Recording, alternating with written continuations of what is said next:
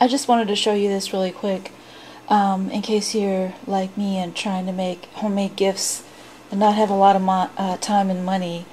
Um, instead of making uh, paper journals, I'm making fabric cover journals. And um, about a month ago, I came across this really cute pattern from Indigo Junction.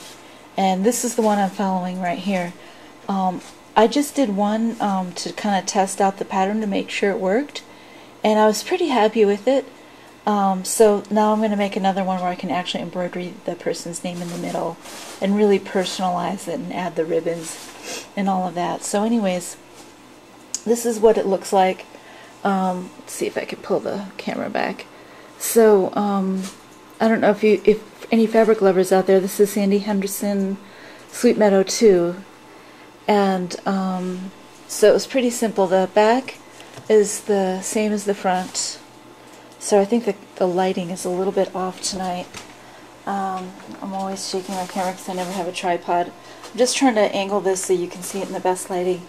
And so anyways, it just fits a standard uh, notebook. Um, so you can see that's the notebook in there. So the inside flaps, you can make them the same as the outside or change them up. Um, but basically this is what it looks like. And I would have to say this took me maybe two hours at most to make.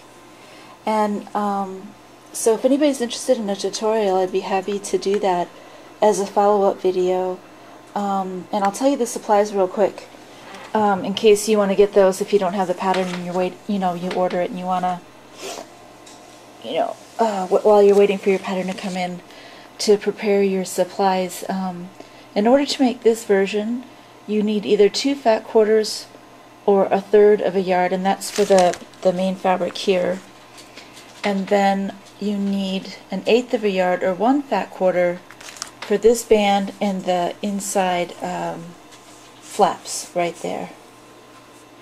And then in terms of the rickrack, it calls for one yard of medium-sized rickrack and um, then they're calling for one yard of 3 8 inch grosgrain ribbon for the ties um, so that you can um, tie it together here. I didn't do that with this one.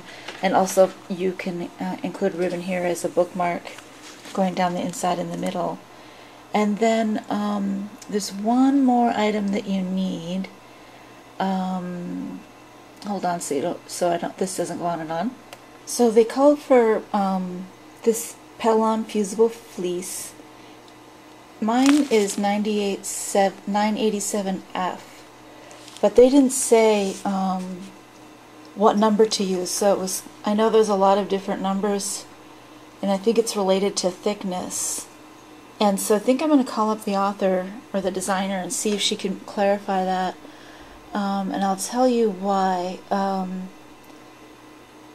what happened was um, she called for quarter inch seams and the thickness of the batting is supposed to make the cor oh, so sorry the corners round out uh, because these are round cornered uh, notebooks but do you see how there's a lot of extra area where it doesn't really fit um, like really snug there's a lot of extra room in here like the binder ends there and then you have all this extra room.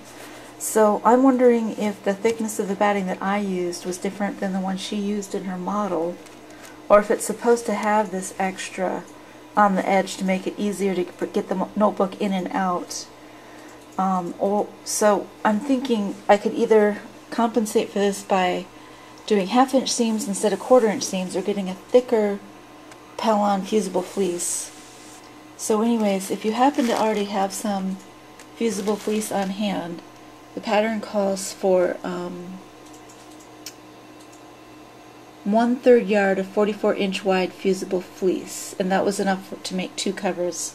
So I bought this bag at Joann's and it was like a dollar three dollars and 49 cents and I think I have enough in here to make three.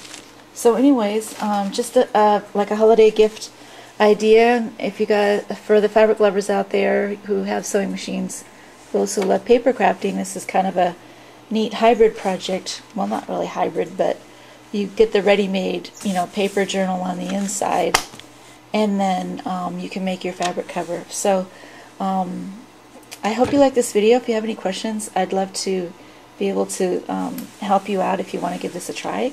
And thanks for watching. Bye bye.